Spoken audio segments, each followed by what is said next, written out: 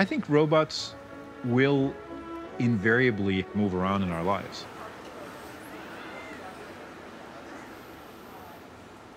My mother recently passed away. And she had Parkinson's and several other ailments.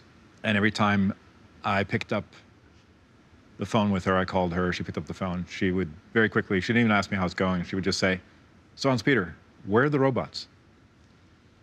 And I'd say, You know, well, it'll be a little while, but they're coming.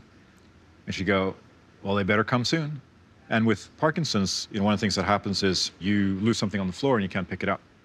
Very simple things. You shuffle your feet and maybe kick over a, a carpet, which might in, turn, in, in turn cause you to stumble later and fall. And these little things were big things for her. And so what we're trying to do here is we're trying to solve the little things.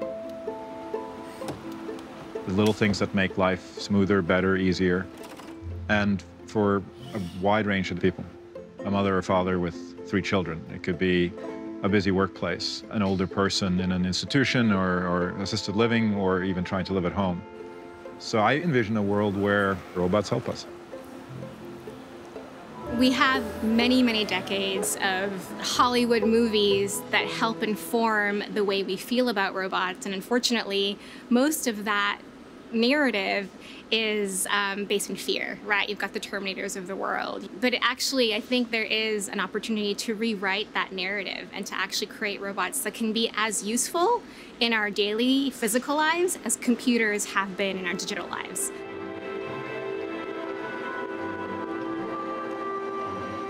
We're building robots that are going to live amongst us. And so we put a lot of effort into creating a group of people here who come from very different walks of life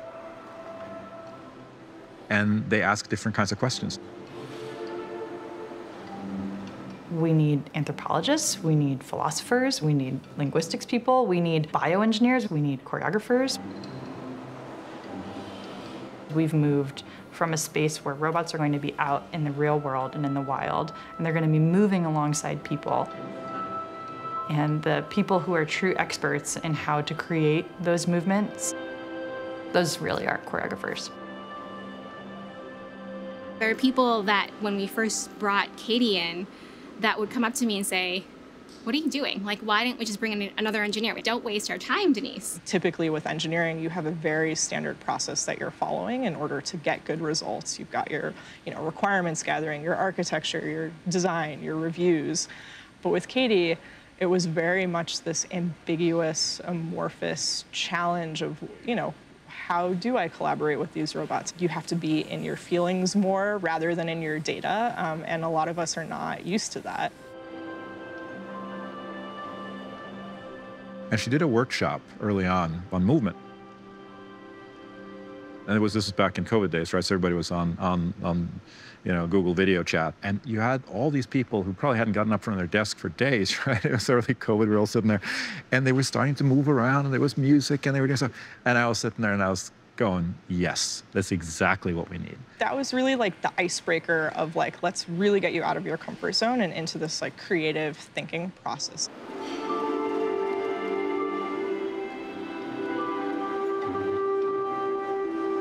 And then if I move, they should flock with me. In the flock, we have robots that are running a navigation algorithm, and that determines where all of the robots go in space. And we can flock this direction. Catie's such a unique person because, you know, she's a dancer, but she's also an engineer. She's now doing a PhD in robotics. And I felt like my sort of artistic skills had nothing to do with me being a roboticist, right? They felt like okay, here's my artistic life over here. It's really inspired my interest in robotics, but it doesn't provide value to my robotic skills. That was my initial impression. And I think since then I've really found that the two are, are quite integral. And the way that I've really brought my dance and choreography training in to robotics is through human-robot interaction. One of my projects is about gesture. So for example, if I have a robot in my kitchen in the future, and I have my family and they're really loud and raucous, maybe It's hard for the robot to hear me over all of that noise and shout a command to it. And so a movement based interaction might be better. I've got a hand up gesture. So if the robot sees a hand up gesture, they all spin in place. So they perform an abstract version of a pirouette. Ah! Okay. Don't fall. Okay, this way, this way, this way. Oh no, no, no, no. Okay. There's a lot of uncertainty. okay, we've lost some of our robots. And um, Okay. being comfortable with uncertainty is part of the creative process.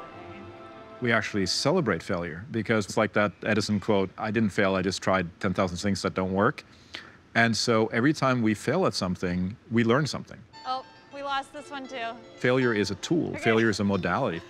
Oh, can we timestamp that? Failure is something you have to embrace as a part of the process.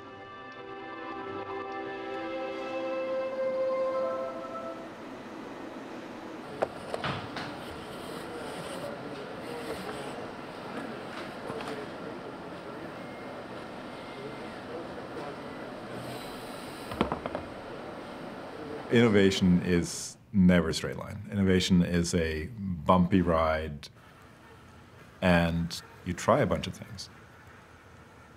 One of the things I learned was the arts in general and technology are really dance partners.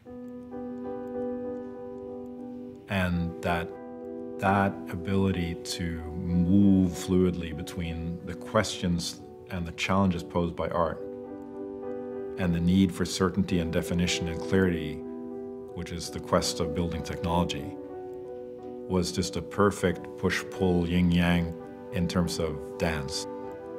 The dance of these two forces, opposing forces, ultimately can create something really beautiful.